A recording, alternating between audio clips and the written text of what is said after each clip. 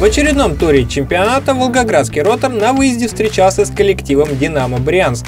В первом тайме голов не случилось. Счет матча открыл игрок ротора Иван Шмаков. Хозяева ответили точным выстрелом Дмитрия Осипова. В итоге встреча завершилась со счетом 1-1.